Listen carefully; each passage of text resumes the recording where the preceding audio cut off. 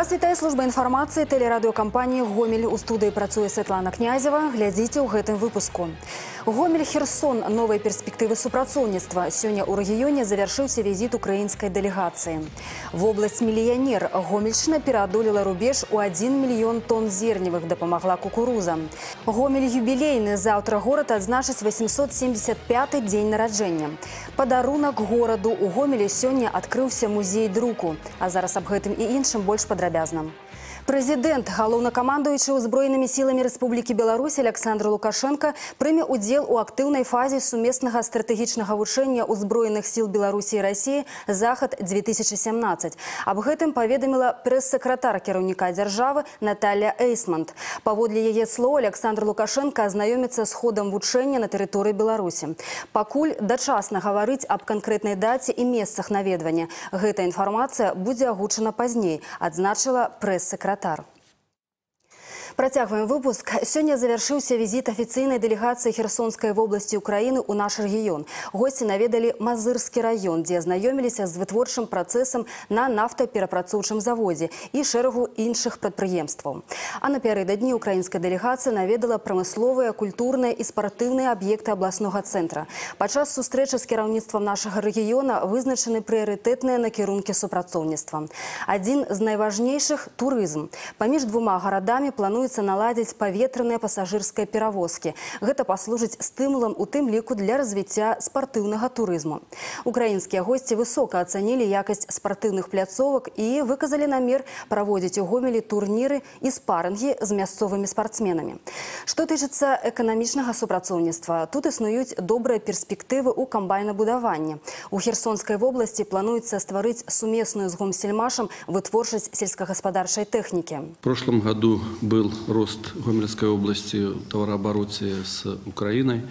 И в этом году я вот смотрю по тем цифрам, которые имею за 7 месяцев, порядка 140%. И если в прошлом году товарооборот составлял 400 миллионов долларов Гомельской области с Украиной, то в этом году я вижу, что он будет гораздо выше. И ваш приезд сегодня, я думаю, тоже добавит к нашим отношениям, добавит товарообороту и позволит сегодня воочию найти подходы, которые позволили действительно достойно развивать наш регион. Чарговым крокам на шляху да ўзмацнення эканамічных сувязяў стане візіт у адказ. Старшыня гомельскага аблвыканкама Владзімир Дворнік атрымаў запрашэнне на юбілейны 10 міжнародны інвестыцыйны форум, які пройдзе ў Херсонскай вобласці напрыканцы верасня. Завтра 16 верасня мясцовыя ўлады правядуць чарговыя прамыя тэлефонныя лініі. На пытанне жыхароў гомельскай вобласці адкажа першы намеснік старшыня аблвыканкама Александр Викторович Мікалуцкі. Звярнуцца да яго можна з 9 до 12 гадзін па нумары тэлефона ў гомелі 33 12 37. А ў гомельскім гарвыканкаме прамую лінію правядзе намеснік старшыні Сергей Анатольевич Радзюк. Нумар тэлефона 75 18 54. 20 верасня ў Беларусі будзе азначацца дзень мытніка. Сёлетнія вынікі работы гомельскай мытні, а таксама пытанне тэхнічнага пераўзбраення абмеркавалі на прэс-канферэнцыі. Супрацоўнікі гомельскай мытні да прафесійнага свята падыходзяць з добрымі вынікамі. За 8 месяцаў года выяўлена 2000 адміністратыўных правапарушэнняў. Сума канфіскаваных і арыштаваных тавараў 4 мільёны рублёў, што на 19 процентаў больш аналагічнага паказчыка ў мінулым годзе. Узбуджана 11 крымінальных спраў, дзве звязаныя з незаконным перамяшчэннем зброі, 9 псіхатропных і наркатычных рэчываў. Працягвалася работа па ўдасканальванні прапускной здольнасці гомельскай мытні, афармлення экспартных і імпартных грузаў. Порядка 26% всех экспортных товаров оформляются у нас в таможне в автоматическом режиме, то есть вообще без участия сотрудника таможни. Вообще в течение срока, не превышающего 5 минут, э, более 81% всех экспортных товаров у нас оформляется. То, что касается импорта, 68% товаров, э, приходящих к нам сюда, оформляются в течение срока, не превышающего 2 часа.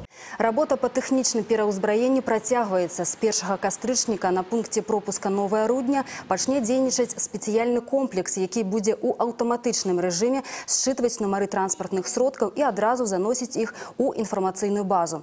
Зараз вядзецца рэканструкцыя і пункта пропуска новая гута. Тут павялічыцца колькасць калідораў і зменіцца канфігурацыя праходжання кантролю. гомелю. Гэта дазволіць палепшыць прапускную здольнасць з 1600 транспартных сродкаў да 2500 за суткі. Нямецкі фонд дзецям Чарнобыля прыцягне супрацоўніцтва з гомелем. Такая інфармацыя была агучана сёння ў ходзе сустрэчы дэлегацыі з кіраўніцтвам горада. Бакі абмеркавалі таксама магчымасць перадачы некалькіх апаратаў ультрагукавой дыягностыкі для медустаноў абласнога цэнтра. Адзначым, што супрацоўніцтва фонду з рэгіёнам ідзе на працягу 25 гадоў. За гэты час у рамках дабрачыннай дапамогі установы аховы здароўя атрымалі ад нямецкага боку 39 апаратаў ультрагукавой дыягностыкі. Да іншых тэм. Аддзел унутраных спраў светлагорскага райвыканкама праводзіць праверку па факце атручвання пяцярых дзяцей сродкам ад насякомых. Як паведаміў афіцыйны прадстаўнік ОУС гомельскага аблаўканкама Віталь Прыстромаў, папярэдне устаноўлена, што атрутную вадкасць прывёз у санаторый старэйшы з пацярпелых дзяцей, яму 12 гадоў. Бутэльку з настойкай чэмера для ветэрынарыі з утрыманнем 67% этылавага спірту хлопчык узяў у бабулі. Прызначаны Прызначана экспертыза. Як паведамлялася раней, 14 верасня пяцёра дзяцей ва ўзросце ад 7 до 12 гадоў на адпачынку ў санаторыі Светлагорскага раёна атруціліся невядомай вадкасцю. Пасля аказання першай дапамогі ў Светлагорскай раённай бальніцы дзяцей перавезлі ў абласную бальніцу ў Гомель. Іх стан стабілізаваны, пагрозы для жыцця няма. Диагноз э, отравление чемерицей. В общем-то, это вещество, которое используется в сельхозпромышленности, дезинтоксикационная терапия, антидотная терапия – ну и наблюдение. Состояние стабилизировано полностью. Усе абставіны інцыдэнта высвятляюць праваахоўныя органы. У гомелі рэчыцы 16 верасня пройдуць акцыі па экспрэс-тэсціраванні на ВІЧ. Мерапрыемствы адбудуцца ў рамках рэспубліканскай інфармацыйнай кампаніі, тычацца нават тых, каго не тычацца.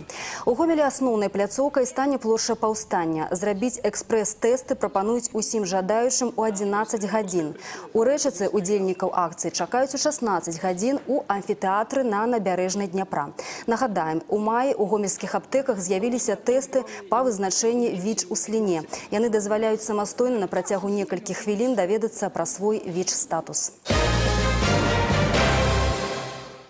Гомельская вобласць пераадолела рубеж на малоту ў 1 мільён тонн збожжа. З улікам зерневых, зернебабовых і кукурузы сельскагаспадарчая арганізацыя рэгіёна па дадзеных на сёння сабралі 1 мільён і одну тысячу тонн. Прычым доля кукурузы ў гэтым аб'ёме складае толькі 4 тысячы тонн. Усяго ў гэтым годзе плануецца атрымаць не менш як 250 тысяч тонн зерня кукурузы, якое ў першую чаргу ідзе на выраб канцэнтраваных кармоў для свінагадочых комплексаў і птушкафабрык.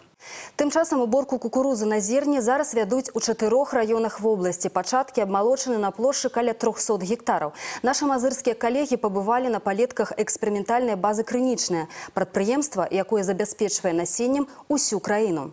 Зернеуборочная техника отправилась на Мехдвор и соступила свое место комбайном для уборки кукурузы. Царицу полев убирают до самой поздней ночи. За смену получалось где-то около 100 тонн, по 150 тонн. Ну а за уборку по 3 тысячи, по 4 тысячи. Ураджай кукурузы ў гэтым годзе абяцае быць вялікім. На масавую уборку прадпрыемства выводзіць увесь свой арсенал 11 адзінак тэхнікі. Час, калі пора прыступаць да работ на канкрэтных палях, з дакладнасцю вызначаюць аграномы. Даже берете вот початок кукурузы, разламываете, от, отламываете зерновку и пытаетесь ее сдавить. Если зерновка уже как бы не дается, уже там сухое вещество, то она готова к уборке на зерно.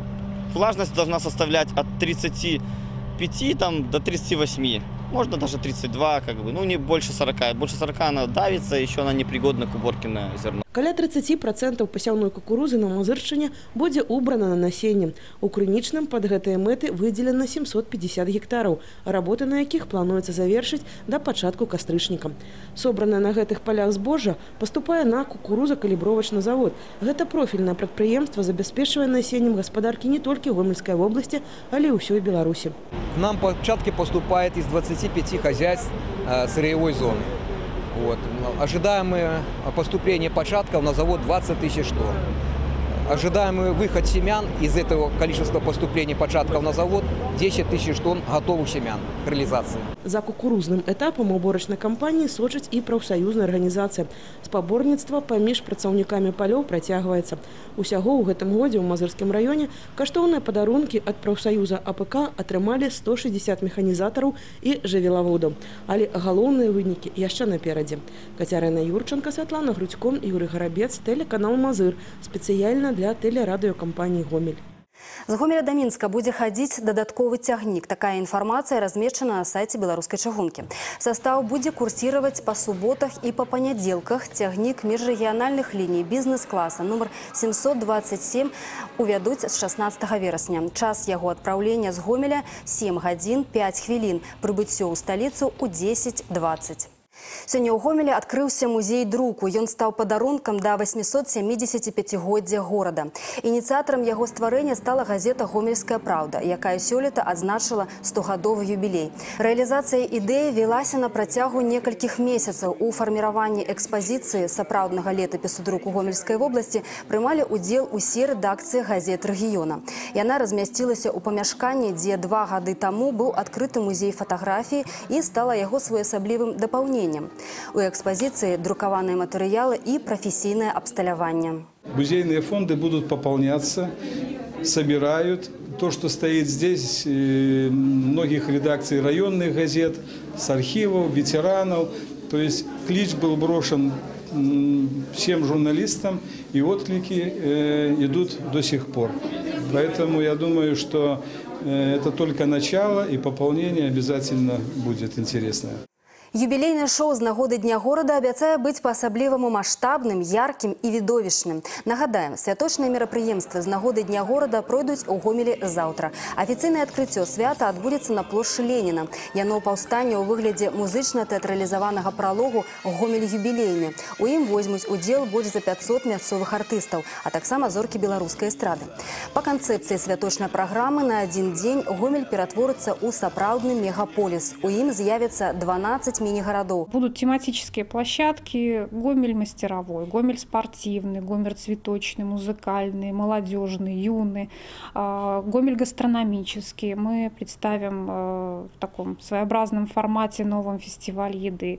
А, планируется большой комплекс мероприятий, в том числе на раз, рассчитанных на разную публику. Это и город мастеров, э, это и фестиваль уличного искусства, это молодежная площадка с экстремальными видами спорта. Практически по всему центру города развернется несколько площадок для самых маленьких наших жителей. То есть сегодня мы не концентрируем детскую площадку где-то в одном месте. Сегодня есть возможность у родителей занять ребенка практически на территории всего, всех праздничных мероприятий. Галоўныя падзеі будуць разгортвацца ў цэнтры горада, але выставы, прэзентацыя, інтэрактыўныя пляцоўкі будуць працаваць ва ўсіх раёнах. Завяршальным акордам свята стане феерверк, які будзе запушчаны з пяці кропак горада.